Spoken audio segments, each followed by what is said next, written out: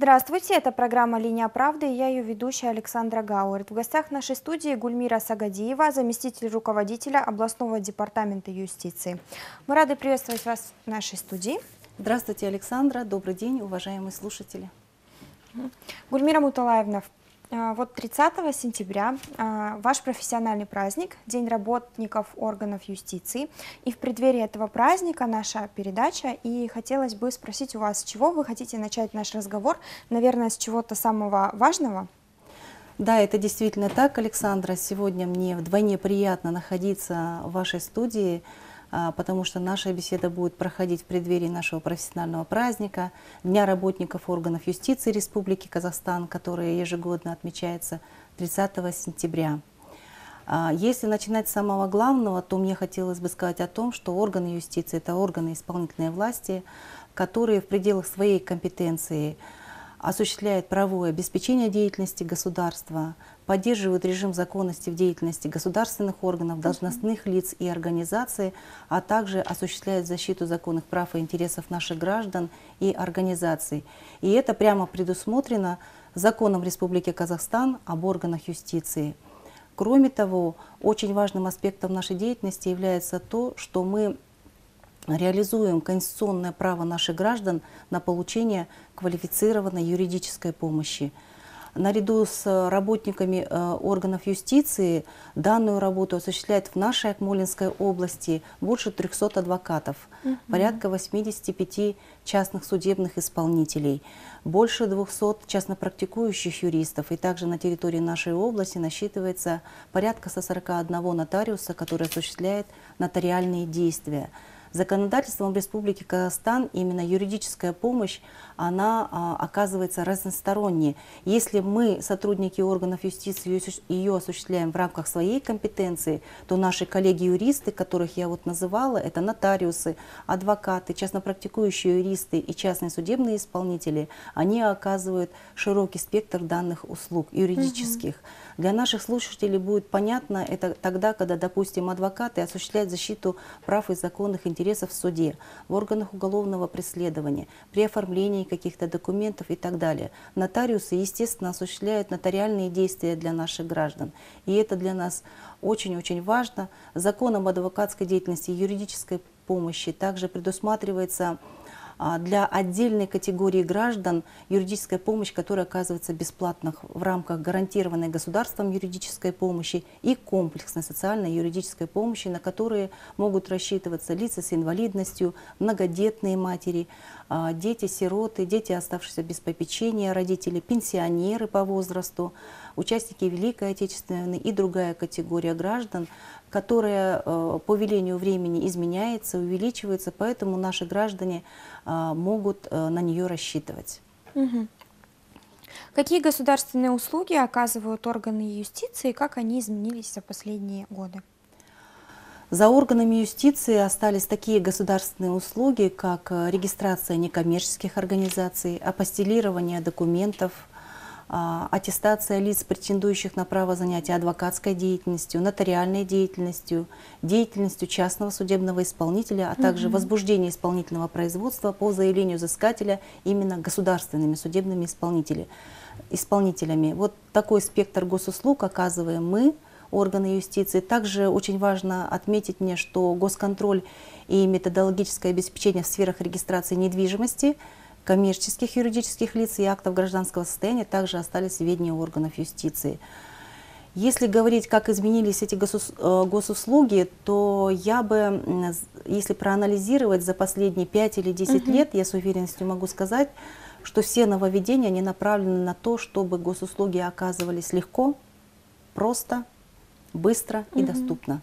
Я думаю, это главные аспекты, которые нашим услугополучателям а, всегда очень актуальны, потому что на, э, насколько понятны эти госуслуги нашим гражданам, э, зависит, э, конечно, в общем доверие наших граждан к институтам власти, потому что жизненной ситуации вообще происходит очень много, и насколько быстро он может получить э, те или иные документы, насколько открыта эта госуслуга, конечно, это очень важно. Вот говоря о сроках оказания госуслуг, то я с уверенностью могу сказать, что сроки сокращены вдвое. Например, если взять сферу регистрации некоммерческих организаций, если раньше мы их регистрировали за 10 рабочих дней, сейчас этот срок сокращен до 5 рабочих угу. дней. Ликвидация юридического лица Э, аналогично с 10 до 5 рабочих дней.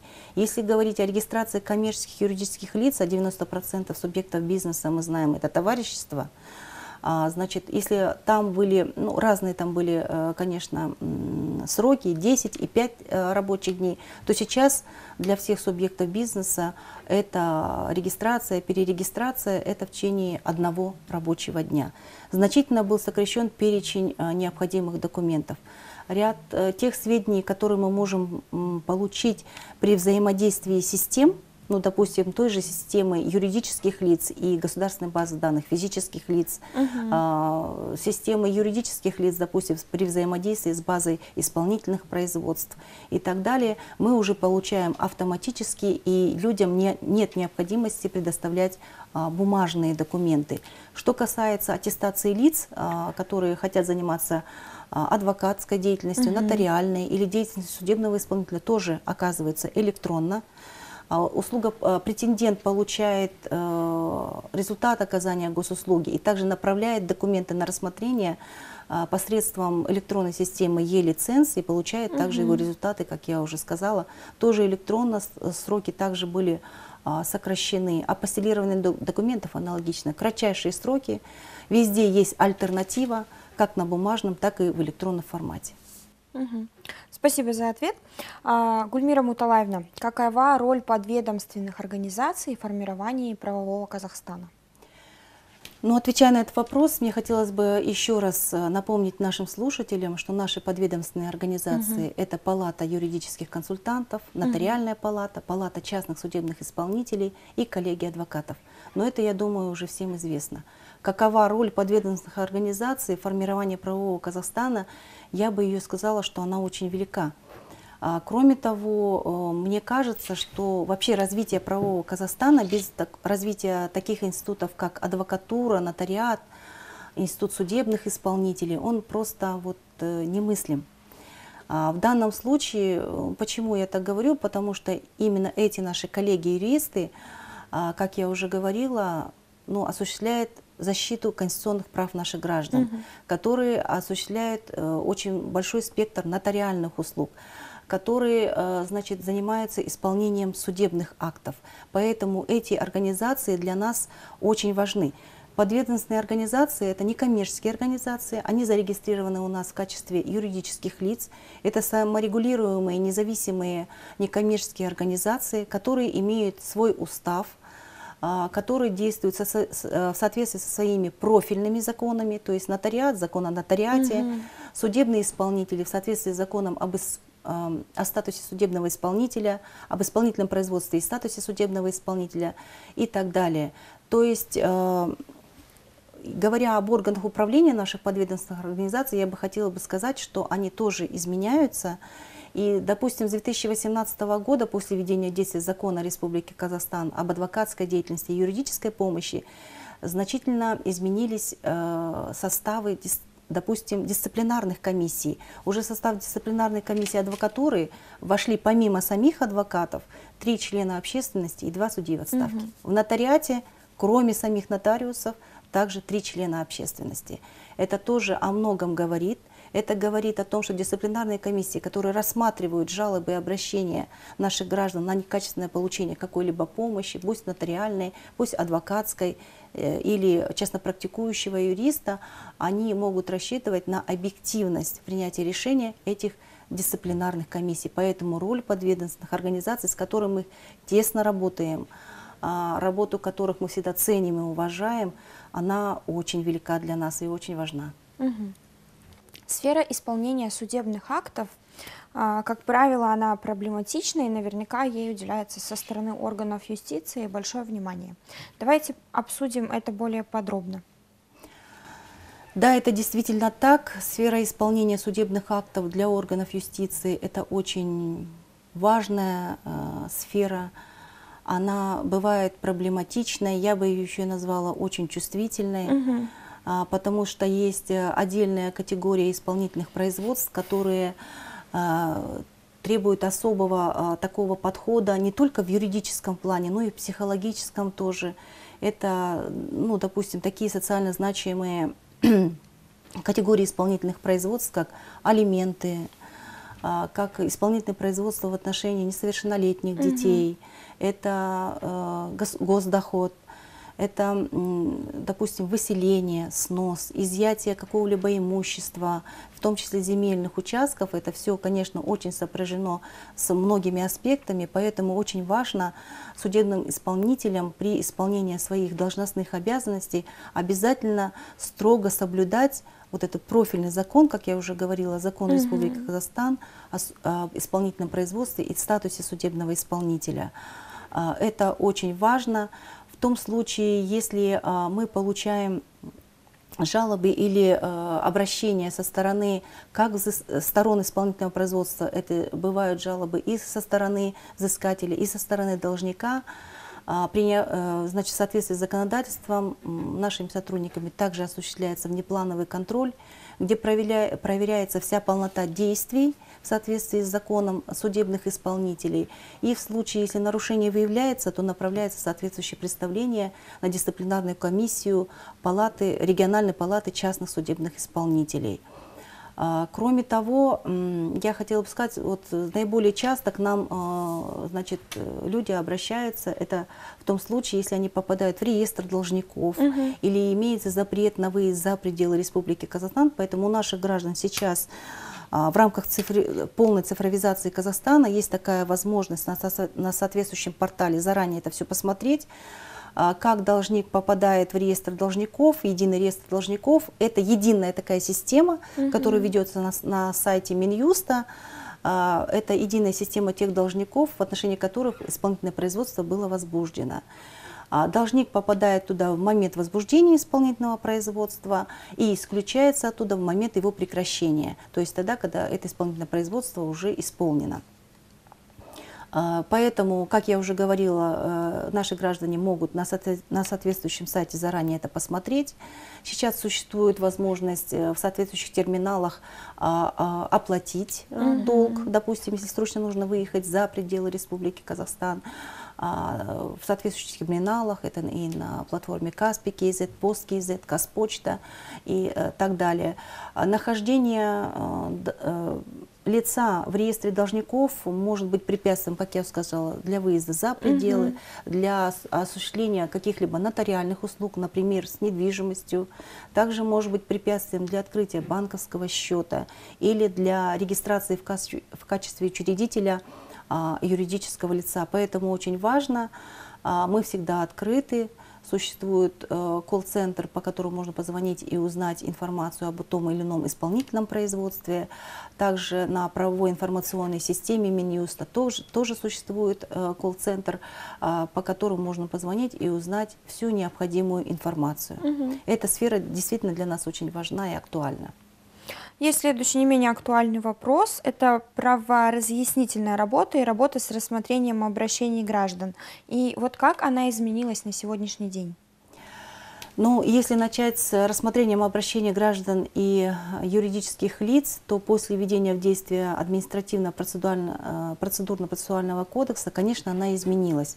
Она была важна всегда и до этого, угу. но качественно изменился вообще подход к каждому обращению – то есть в том случае, если к нам а, обращаются граждане, и мы принимаем неблагоприятный акт, то есть отказываем в удовлетворении того или иного заявленного требования, то мы за три рабочих дня до окончания срока обязаны а, предвари, с предварительным ответом ознакомить нашего заявителя mm -hmm. и, и провести процедуру заслушивания, где также учитывается мнение самого заявителя. А, и в течение трех рабочих дней а, заявитель, ну, гражданин, который к нам обратился, он может написать свое возражение угу. на это. Поэтому, естественно, каждое обращение мы должны подходить объективно, рассматривать его всесторонне, а, соблюдать сроки, которые отведены а, АППК, да, Поэтому для нас это очень-очень важно. Этому уделяется особое внимание. Это наша каждодневная работа. Это каждый сотрудник юстиции это очень хорошо знает. потому что ответственность здесь очень большая есть, в том числе и, э, допустим, за непредоставление вовремя э, на запрос суда э, суд может наложить и даже денежное взыскание. Угу. Это тоже мы четко понимаем, знаем эту ответственность. Поэтому в этой части мы всегда дисциплинируем наших сотрудников, мы стараемся к каждому обращению подходить очень тщательно. Растительная работа, она как была, так и остается нашей основной задачей – мы а, работаем в повышении правовой культуры наших граждан. А сейчас особое внимание уделяется также проведению растительной работы вплоть до вот, сельской глубинки, угу. чтобы каждый э, именно гражданин а, отдаленной сельской местности знал о своих правах, знал, что он может получить бесплатную юридическую помощь. Для этого вот функционирует тоже права информационная система, которую я уже вкратце затронула в своем разговоре. А, в сокращенной аббревиатуре это ПИС, это круглосуточная информационная система Минюста, которая отвечает по правовым вопросам, также там имеется колл-центр исполнительных производств и так далее. То есть правоохранительная работа нами ведется постоянно, ведется вместе обязательно с нашими коллегами-юристами, это адвокатами, нотариусами, угу. судоисполнителями и юристами. А, об этом я уже говорила, и эта работа будет продолжена, она наоборот мы стараемся какие-то новые подходы иметь, прямые эфиры, электронные э, и так далее. Поэтому это для нас очень важно. Угу. Какая работа проводится органами юстиции для повышения имиджа э, как раз-таки органов юстиции и их роли в обществе? Ну, повышение имиджа органов юстиции и их роли очень хороший вопрос. Вы знаете, я бы хотела в этой части сказать о том, что а, нами всегда проводится работа а, над тем, чтобы наши сотрудники соблюдали этические нормы при исполнении своих должностных обязанностей. С уважением относились к каждому гражданину, который к нам обращается. По мере своей возможности необходимо а, постараться помочь человеку, либо, если не входит в нашу компетенцию, то, по крайней мере, направить человека, что необходимо обратиться туда-то для разрешения того или иного вопроса. Поэтому повышение своего профессионального уровня – а, поведение этическое как на работе, так угу. и в быту, это осталось также нашей основополагающей работой, и это работа, которая возложена также на уполномоченных по этике а, областных департаментов а, юстиции и на административные отделы. Также работа по профилактике и недопущению коррупционных нарушений. Угу. Это тоже важная роль, потому что это то зло, которое налагает пятно на любые государственные органы. Поэтому в этом, э, в этом смысле работа нам обязательно должна быть продолжена. Это имидж, это роль органов юстиции как э, юридическое ведомство э, нашей страны. Поэтому то, как мы себя ведем, как мы относимся к своим должностным обязанностям, это, конечно, показывает многое. Время нашего эфира, к сожалению, подошло к концу. Я от всей души хочу поздравить вас с наступающим профессиональным праздником и ваших коллег. Спасибо, что пришли к нам в студию, ответили на наши вопросы. Спасибо большое. Дорогие телезрители, мы не прощаемся с вами. До новых встреч в эфире.